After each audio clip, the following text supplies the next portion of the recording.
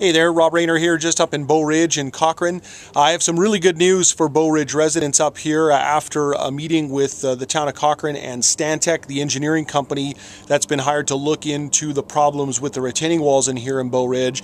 Uh, the engineering company, Stantec, says that there are no risks to these houses along this wall. The wall itself uh, is moving and shifting. There is no doubt that it has done so. Uh, the engineering company says it will continue to do so, and they're going to monitor this over the winter. Uh, this stairwell and walkway is closed because that stair is not safe because it has been pushed by the wall and uh, they are going to monitor their borehole holes in this wall over the winter. They feel that water and ice is causing this wall to move. Um, the interesting thing is that Stantec admits that this wall was under engineered for this neighborhood when it was originally built and was not built properly to do the job that it was asked.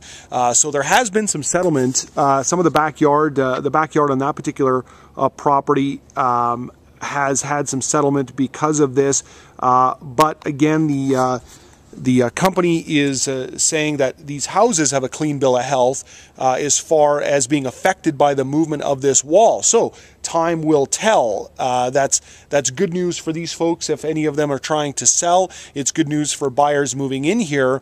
Uh, but I think the real proof will come in the spring of 2010 when the final report is out and they will talk about how to remedy this wall issue. Love to hear your comments on this. Info at robreynar.com, R E Y N A R, info at robreynar.com. Talk to you soon. Bye bye.